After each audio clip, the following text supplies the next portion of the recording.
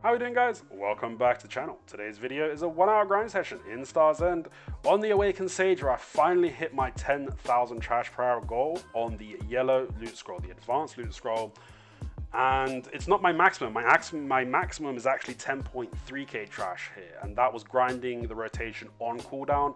A lot of the times when I was getting to a pack, they were just starting to spawn. And a couple of times I had to wait a second for them to spawn. So um, I might be able to get more than 10.3, but that's not something I'm going for because that would involve me going further into gate rotations, take more packs from the uh, adjacent rotation.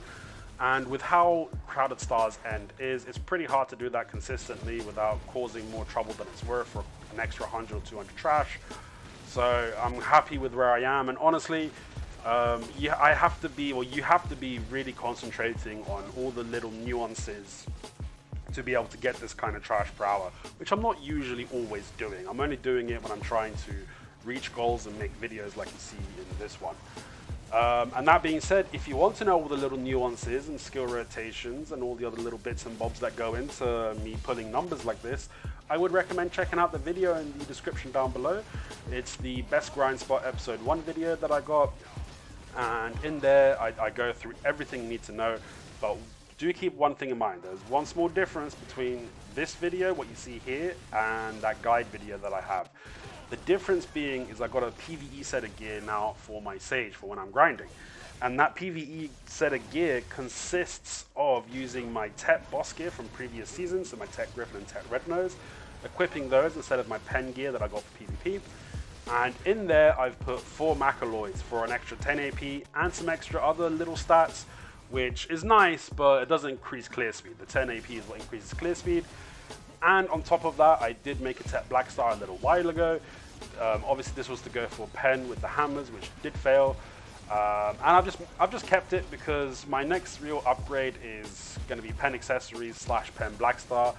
Um, I'm probably going to go for the Pen Black Star next, so I'll be keeping my Tet Black Star until basically I can afford to buy a Pen Black Star from the CM, and that's when I'm going to sell it. But not only have I got a Tet Black Star, I also put the very cheap Power Crystals in there for an extra, extra 5 AP in each crystal slot. So that's an extra 10 AP from the crystals in the Black Star, an extra 10 AP from the crystals in my armor, and the extra monster damage that um, I get from the Black Star itself, which is pretty big. It does all add up.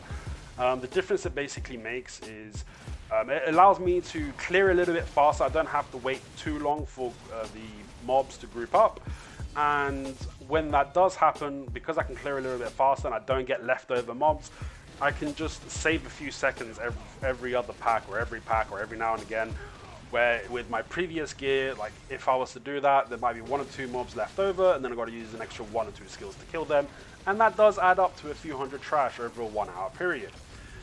So do check out that video that um, I've suggested if you want more information on it, but uh, just again, keep in mind there is a small change between my gear there and my gear in this video.